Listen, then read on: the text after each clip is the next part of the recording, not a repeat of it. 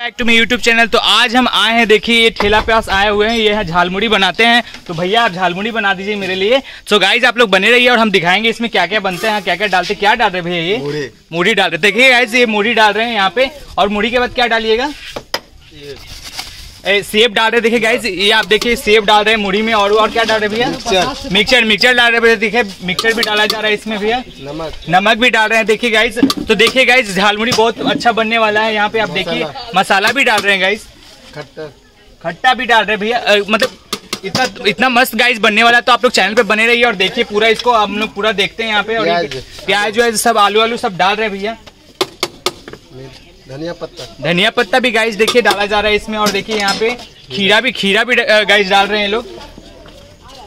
और वो वो वो सब नहीं वो सब क्या है? चना उन्हें नहीं डाल चना थोड़ा चना भी डाल दीजिए थोड़ा उसमें और ये थोड़ा नींबू भी निचोड़ दीजिए उसमें थोड़ा अच्छा से।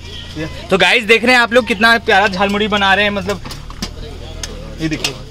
ओ हाँ गाइस चना भी डाला जा रहा है इसमें देखिए गाइस और यहाँ पे सूखा चना भी डाला जा रहा है। भैया थोड़ा टमाटर भी काट के डाल दीजिए ना थोड़ा। टमाटर भी अच्छा लगेगा।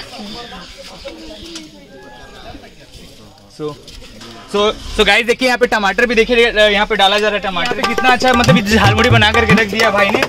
अरे जा भाई अपना दस रुपया झालमुड़ी लिया है और कर रहा है सो गाइज़ हाँ ठीक है ठीक है जा रहे हैं। सो गाइज़ वीडियो अच्छा लगा तो लाइक शेयर सब्सक्राइब कीजिएगा। Thank you